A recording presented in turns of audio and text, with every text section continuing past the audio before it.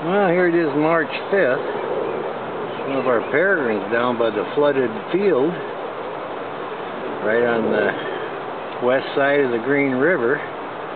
Oh, maybe half mile from their uh, from their nesting building, the Boeing uh, Aerospace building.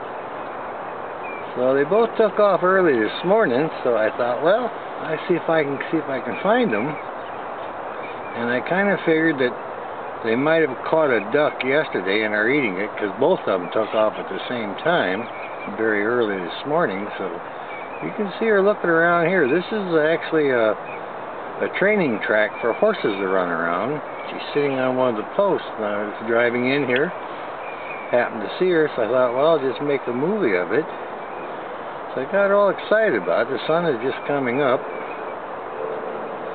She's sitting there looking pretty nice, so I'll see if I can get some still shots later, but I haven't seen the male. Like I say, both of them are gone, so I figure they might have a duck down here, and uh, one might be eating, and she's just sitting here. So, oh, she's looking up a little bit.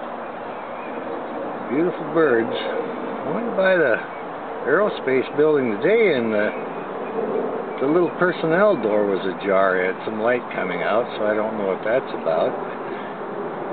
She flew off her perch at, she, first light, just a little after 6, and then uh, flew back up on her perch. I don't know where she went.